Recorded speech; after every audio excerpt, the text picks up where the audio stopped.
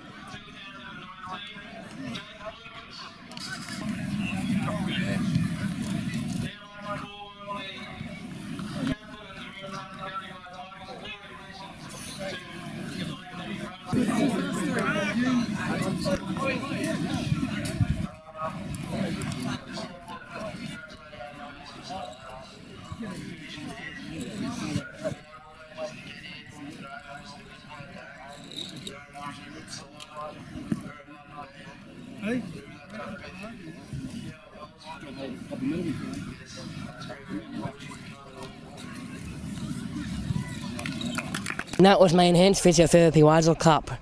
A pretty gallant effort by the Gundagai Tigers, but it was not to be. With a one-sided game, with young cherry pickers coming to premiers over the Gundagai Tigers in the Enhanced Physiotherapy Weissel Cup. And the end result for that was Young 36, Gundagai 12. And what was a, it's been so far some good cracking games of rugby league. But I'll now take you to the next game of the day, which is, of course, the Hotondo Homes League Tag Cup.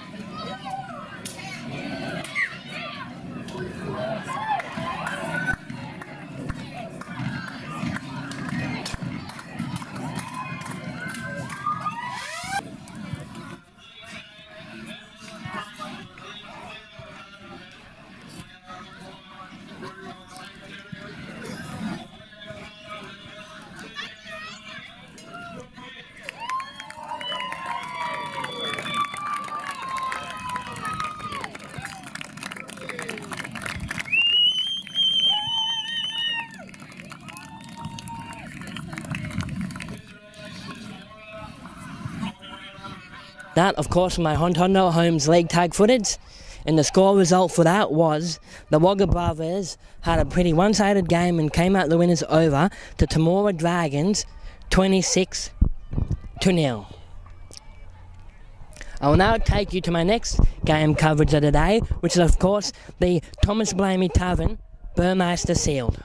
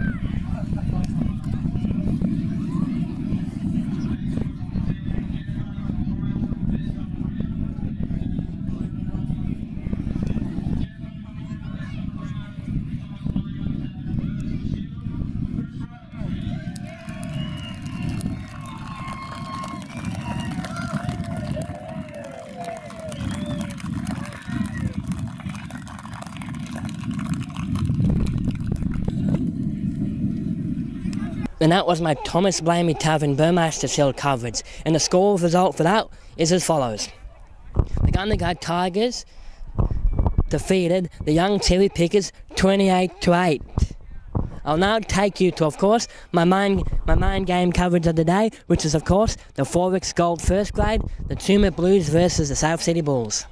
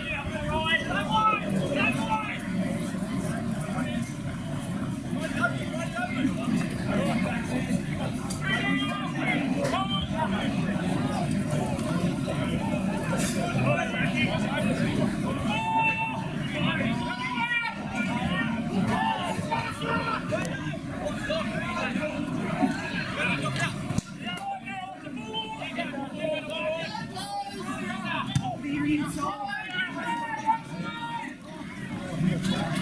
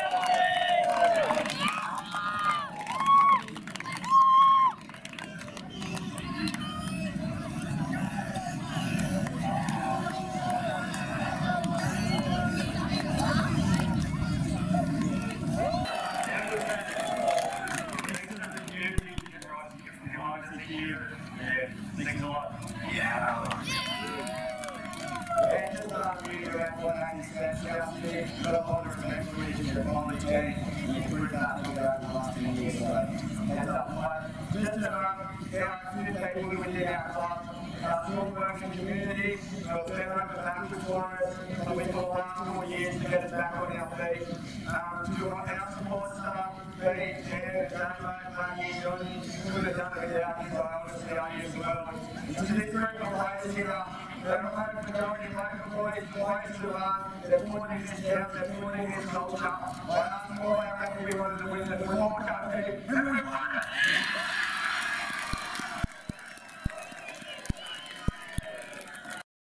and that, of course, was my. No. And that, of course, was my. No. And that, of course, was my weeks gold first grade grand final. That was my. No. That was. And that was the weeks gold first grade grand final. South City Bulls versus Tumut Blues. So the score results for that game is as follows: the Tumut Blues came out the premiers defeating the South City Bulls 28 to 4 in what was a good game of first grade. And this time around we have a new this time around we have new premiers for the XXXX Gold Group 9. I will now take you to an interview with one of the players. Good game out there today. How are you feeling right now? Yeah, mate, feeling on top of the world. Um, yeah, it's like a dream come true winning a grand final. Um, yeah, to do it with some of your best mates. Um, yeah, there's no better feeling. So just can't wait to party tonight. Speaking of the party, what's what's the party going to be like at Tumut? Oh, I think the whole town's going to be rocking. Uh, there's probably about half the population over here watching today. So um, yeah, we'll head back to the club and uh, yeah, we'll drink all night and uh, party on all day tomorrow. Schultzy Sports is a big fan of Tumut, so thanks thanks for the whole town of supporting Schultzy Sports. No worries, Schultzy. Thanks for your coverage, mate. We love it. On you, mate. Cheers, thanks. That, of course, now ends my coverage for 2019 of the 2019 Group 9 series. So thank you to everyone who's watched all my videos throughout 2019. And I've been, it's been great bringing you all the be fun away games, and of course bringing you the final series, and of course last week the 2019 Weissel Medal. So thank you everyone from all the clubs that have decided to watch Schultzy Sports this season. So thank you to new supporters that have came to watch Schultzy Sports. And also thank you to the likes on my Facebook page and the likes on my Instagram page. And also also thank you to the current subscribers. And if this is the first time you've heard seen this, these video Schultzy Sports videos, don't forget to click the like button.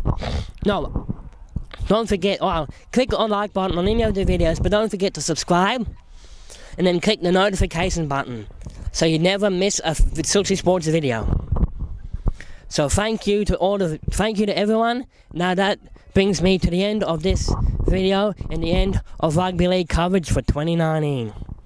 So thank you, and until next time, it's bye for now.